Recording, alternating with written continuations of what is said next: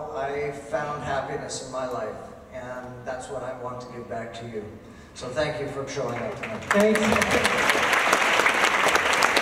I do want to tell you that uh, we've done a bunch of screenings, and this is the largest, most rocket-ass screening.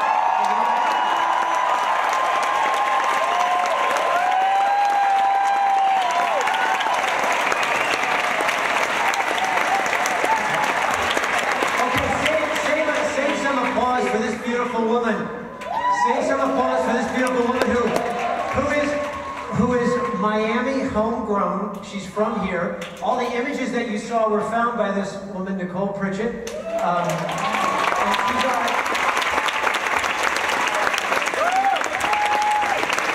she's our incredibly talented associate producer. Say hello real quick.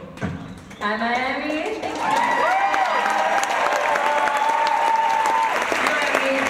I know that this movie uh, incites thought, uh, feelings, emotions, and, and you don't necessarily have to see and meet it uh, in every concept or idea, but we want to talk about it. Coleman taught me something about the beauty of conversation. Uh, you, you said that the mystics, the Sufi mystics, believe there's three ways of approaching the divine. Uh, med- meditation, a step up from that is prayer, a step up from that is conversation. So we're going to have a conversation tonight quickly, because again, I know the yogurt people. I can feel the yogurt. You got to go. I get it. But let's have a conversation and, and, and see if we can't uh, convert each other to ideas. What do you think? Sounds good, Once his once he speaks, I, I, I just want to listen. Go. Ah, come on. Well, let's see. Maybe start off with a Rumi poem, Oh, beautiful. Just to get the conversation going. He says, I'm so small. How can this great love be inside me? That's a big question. How can this great love? Then he answers it with a metaphor. Look at your eyes. They're small. But they see enormous things. Nobody got it. That's all We don't want it to end.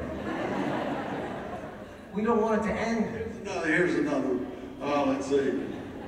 When I meet the woman, would you propose for me? This is her first night. Sure. Um, there is a light seed grain inside.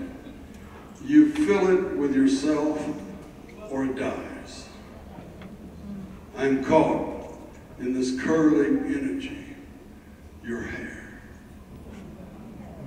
Whoever is calm and sensible is insane.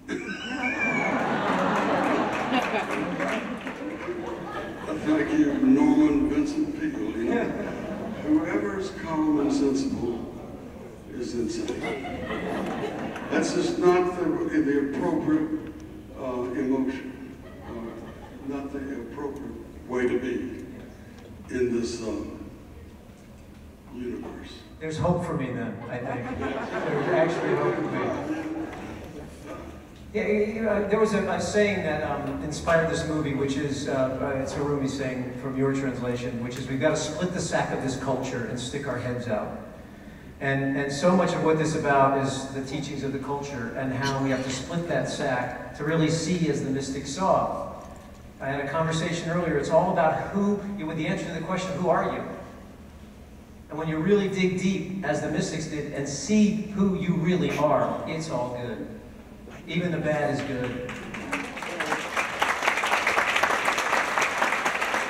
So when, when we really, as a culture, begin to uh, begin to evolve to that place, everything changes. The way we educate our economies, the way we do business with each other, the way we relate to each other, and the way we relate to the natural world.